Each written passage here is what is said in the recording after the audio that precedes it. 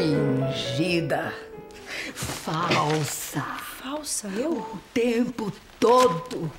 Não sentiu nada, não derramou uma lágrima pela morte do marido. Correu atrás do enteado e quando ele foi preso, caçou outro na corte. Sentiu, sim. Falta de companhia, não está acostumada a dormir sozinha. Cala a boca. Eu não me calo. Eu já me calei diante daquele inspetor por causa do meu neto, mas agora isso aí é demais. Ah, realmente. Alice, Alice. Minha avó, a Esther tem feito todo o possível. Para salvar a própria pele, o próprio pescoço, o próprio corpo, que é só nisso que pensa. Eu não me calo mais. Chega! Fingi demais, guardei segredo, guardo por causa do meu neto, na frente de estranhos. Mas aqui diante da minha família, fingir, continuar fingindo que eu, que eu respeito essa cortesã insensível, imoral, egoísta, arruinou meu gerro, quer destruir o meu neto para saciar a, a, sua ambição, os seus desejos desprezíveis. Chega! Avó, minha avó, está exagerando. Ela tem razão. Por favor, baronesa. Por favor, todos precisamos da sua força. Ah. Inácio.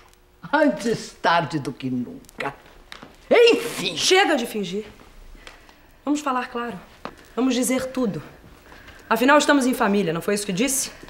Então está chocada com meu fingimento com a minha capacidade de dissimular. Não foi isso que disse? Você não sentiu. E quem sentiu? A senhora? Porque se arrependeu de ter tramado com Engino Ventura para tomar a fazenda dele? Porque o perdoou por tê-lo expulsado dessa casa como expulsou? Eu não fui à corte atrás de. Falsa! Foi disso que me chamou? Por que, dona Idalina? Pelas cartas que falsifiquei? Pelas informações que vendi? Enganou Inácio? Fui eu que enganei o Inácio para ele se casar com essa menininha eu animada? Eu não tenho nada. Nada tem mesmo, calha a boca. Fui eu que fiz chantagem para conseguir um quarto novo? Roupas novas? Fingida eu? É, realmente, Dalina, não foi uma palavra bem escolhida, fingimento. Mas... Eu não finjo, dona Dalina. Não porque seja boa, é porque não preciso. Não dependo de favor de ninguém. Sempre fiz minha vida sozinha. Fiz. Isso mesmo. E o que, a senhora tem a ver com isso? Eu nunca lhe pedi nada. Ao contrário da senhora que sempre pediu e extorquiu de todo mundo. Eu nunca bajulei, nem me rastejei para conseguir qualquer porcaria. Nem dinheiro, nem casa, nem roupa, nem boudoir. Pode ir, dona Dalina, eu já acabei. Dalina, vem cá, vem, vem. Água, água, água com açúcar. Você melhor. Flor de laranja.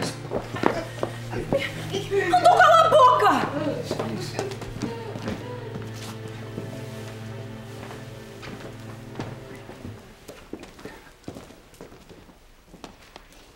Desculpe, eu não sou da família, mas como advogado, foi brilhante. Eu também não sou dessa família. Pouco me importa essa mulher, essas tradições, essa vila, esses menezes, não sei o que, Ventura, Sobrais. Só o que me importa é o Inácio.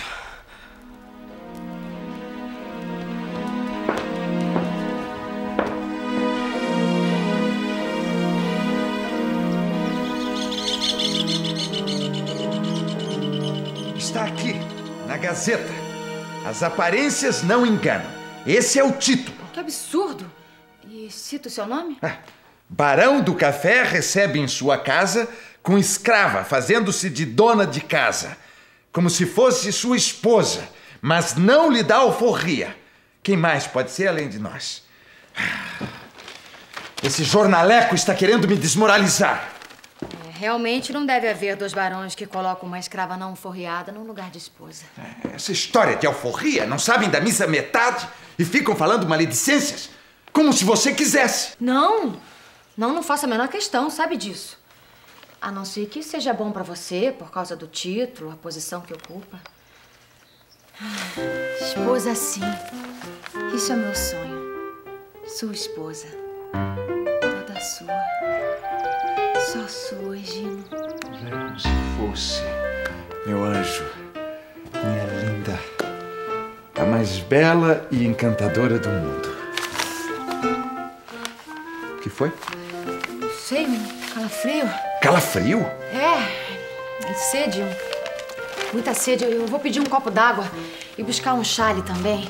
Está tão frio aqui, não? É, mas não está fazendo frio algum, Olivia. Não está sentindo porque está de paletó. Então vá. É, e não se esqueça de pedir a água no, no seu copinho, que é só seu. Melhor tomar no quarto. E fique por lá.